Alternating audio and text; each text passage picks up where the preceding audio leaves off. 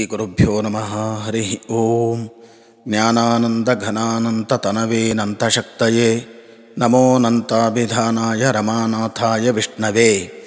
चित्ते मे पूर्णबोधोऽस्तु, वाचि मे भातु भारती, क्रियासुरुगुरवः सर्वे दयां मयि दयालवः। यथाशक्तिशतार्थस्य निरन्तरं, विष्णुनामसहस्रस्य निरुक्तिः सम्प्रकाश्यते। ಓಂ ನಮೋ ಭಗವತೆ ವಾಸುದೇವಾಯ, ಓಂ. ಓಂ ಭೂತಭೃತೆ ನಮಃ, ಓಂ. ವಿಷ್ಣುನಾಮ ಸಹಸ್ರದ ಅರ್ಥಾನುಸಂಧಾನಕ್ಕೆ ನಾಮ ಸಂಕೀರ್ತನೆಯನ್ನು ಭಕ್ತಿಯಿಂದ ಮಾಡುವ ಎಲ್ಲ ಭಗವದ್ಭಕ್ತರಿಗೆ ಸ್ವಾಗತ. ಇವತ್ತಿನ ನಾಮ ಓಂ ಭೂತಭೃತೆ ನಮಃ, ಓಂ. ಭೂತಭೃತ್ ಅಂತ ಪರಮಾತ್ಮನನ್ನು ವಿಷ್ಣು ಸಹಸ್ರನಾಮ ಕರೆದಿದೆ.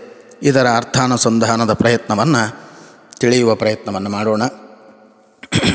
ಭೂತಾನಿ ಬಿಭರ್ತೀತಿ ಭೂತಭೃತ್ ಎಂಬುದಾಗಿ ಹೀಗೆ ಇದರ ಸಮಾಸ ಇದೆ. ಮುಖ್ಯವಾಗಿ ಬಿಭರ್ತಿ ಅನ್ನೋದಕ್ಕೆ ಎರಡು ಅರ್ಥಗಳಿವೆ. ಕ್ರಿಯಾಪದ ಅದು, ಧಾರಣ ಮಾಡ್ತಾನೆ, ಪೋಷಣ ಮಾಡ್ತಾನೆ. ಸರ್ವ ಜೀವಗಳನ್ನು ಸರ್ವಭೂತಗಳನ್ನು ಧಾರಣ ಮಾಡುವ ಸಾಮರ್ಥ್ಯ ಹೊಂದಿದವನು ಭೂತಭೃತ್, ಅವನು ಪರಮಾತ್ಮ.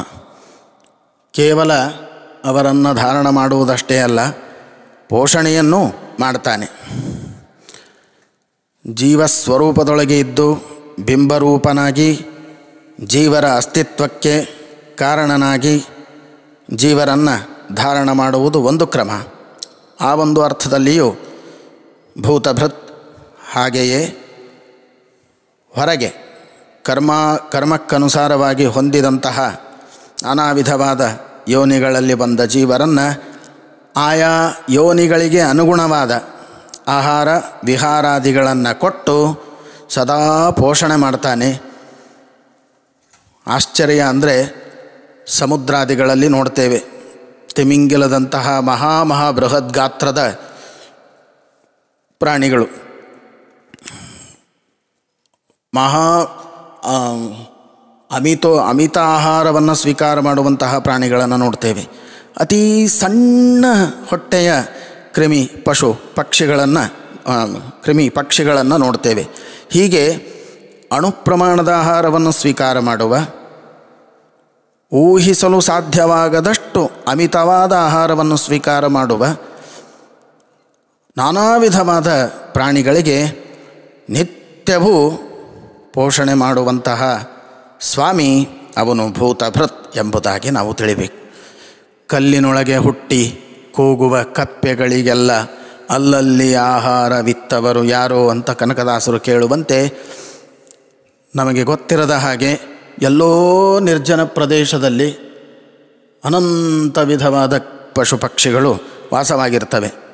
ಅವುಗಳಿಗೆಲ್ಲ ಧಾರಕನೂ ಆಗಿ ಪೋಷಕನೂ ಆದಂಥವನು ಪರಮಾತ್ಮ, ಅಂತಹ ಪರಮಾತ್ಮನಿಗೆ ಭೂತಭೃತ್ ಎಂಬುದಾಗಿ ಕರೀತದೆ. ದೇವರು ತನ್ನನ್ನು ಸ್ಮರಿಸುವವರನ್ನಷ್ಟೇ ಧಾರಣ ಪೋಷಣ ಮಾಡ್ತಾನೆ ಅಂತಲ್ಲ.